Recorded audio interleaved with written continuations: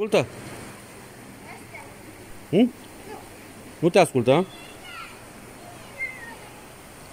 Când eram de vârsta ta, veneam și eu cu vacile.